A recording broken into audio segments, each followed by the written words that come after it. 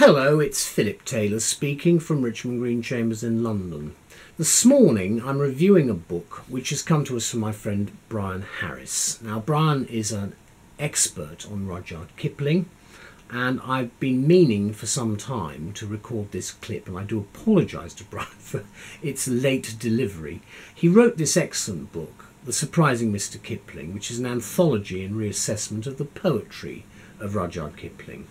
And uh, I found the book really very interesting to read. It's extremely well written, and Brian has put a huge amount of effort into it. Now, I've given the title for our review A Substantial Reassessment of Kipling's Poetry from his great modern supporter, Brian Harris. Now, I'll just say a little bit about what I think of, of what Brian's produced in a minute, but let's look at the book first. There it is. Nice nice drawing of Rudyard there. It's an anthology and reassessment of the poetry of Rudyard Kipling, as mentioned there.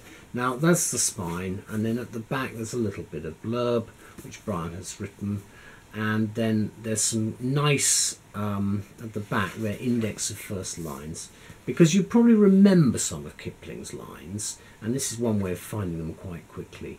Then you've got, after that, the select bibliography, and then you've got uh, a lot of quotes, uh, a, a, lot of examples. There's a nice picture of Rudyard there, and cheer, cheerful.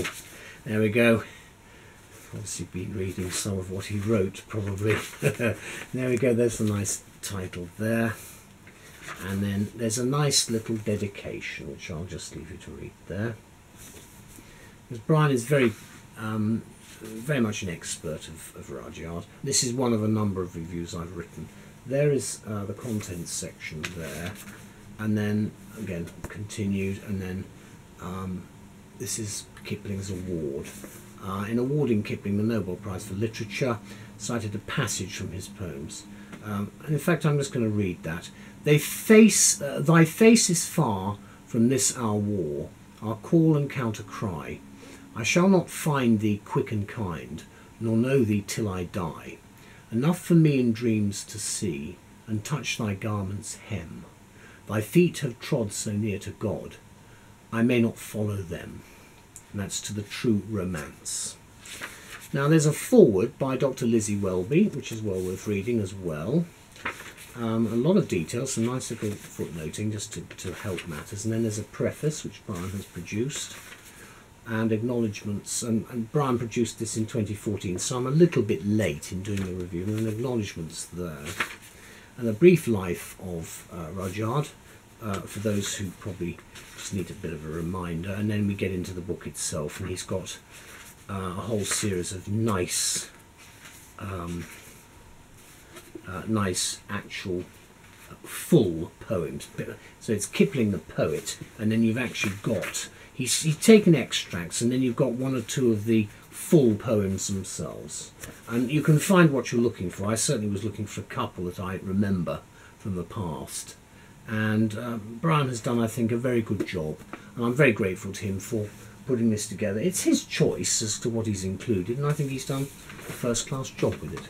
This is what we say anyway. We start by thanking Brian Harris for producing this important literary appreciation, for he has lovingly brought together a carefully selected anthology of Rudyard Kipling's works. The book is presented uh, to what is a new audience in the 21st century, and so much removed from Kipling's era, of course, uh, for which contemporary readers uh, will have no links, but only what Rudyard has left behind for us. And in the foreword, Dr. Lizzy Welby rightly says that Kipling's art refuses to sink below the waves of contemporary tastes, with much being done in recent decades, rightly, to unshackle the, his legacy as a spokesperson for the monolith, uh, for the monolithic of empire. There is actually much more depth to Kipling's literary output. And that's really what we've got, I think, with this and the other works that Brian has produced. Welby goes on to offer the view that the complexities of his verse and fiction are being scrutinised under a post colonial critical microscope, which is frankly inevitable for post colonial generations who see the world so differently. and a lot of them have got a big conscience about it, as we all know. Such scrutiny serves to enhance Rudyard's already substantial historic reputation for today's literary critics, and I'm very glad that we're revisiting him because he has a very important place uh, and, and role in, in English literature. And so along comes Kipling expert and lawyer Brian Harris with his own excellent and detailed personal assessment in what is a very special book for him and for us entitled The Surprising Mr. Kipling. The book gives the reader a new and modern perspective on Rudyard, and it will be a surprise for many readers as well, I hope. The book is indeed a substantial work of scholarship and one which we will treasure because it paints Kipling in a very in very much of a new light for his poetic prowess with less of the usual modern debunking uh, approaches which we're so used to uh, from the trendy 1960s onwards. I used to get fed up with seeing it in when I read English literature because there's just too much of it where in fact there wasn't very much substance to some of the more outrageous statements made and I think now we're looking at Kipling from a different generation it probably assists to try and work out what a terrible um, series of events he saw during his lifetime. And I think that, again, makes one understand a little bit more about the man. And in fact, I think we go for, so far as to say that Kipling's um, journalistic uh, background, because I'm a journalist as well as a lawyer, uh, adds substantial creative strength to his status as a substantial poet of his time, surviving the critics, but often sadly overlooked, and he hasn't been by Brian. Now, Brian starts, as he means to go on, writing that for Kipling's career, praise and disparagement have been his lot in almost equal measure.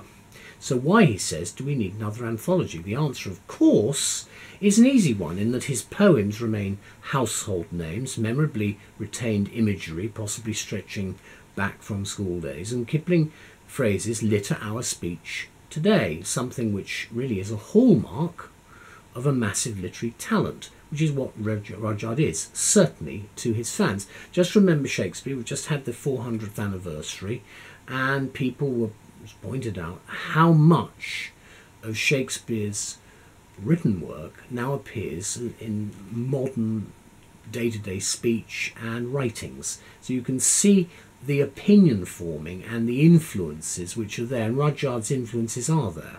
Now, let me conclude by saying Brian Harris is to be congratulated for bringing together Kipling's art uh, with an important assessment for the modern literary critic. And this isn't his case, it's done out of love. And we are all the better for this special an- uh, anthology. So thank you very much, Brian. Let's have a quick look again at it. Nice picture of Rudyard as a young man there. There we go. And you've got the spine and then you've got the back. And then just opening it in the middle. Um, got some rather nice poems. Healing, concept of healing spiritual and physical. Uh, I don't know whether we want to go there, but perhaps uh, it's always the settler. There we go, nice. This is the end of the Boer War. You see, again, as I said before, it spreads such a wide area of really difficult conflict. Anyway, thank you, Brian. Lovely book, and I'm delighted that you've been able to produce it. And good luck to everybody. I hope you all enjoy reading it as much as I did. Thank you. Bye bye.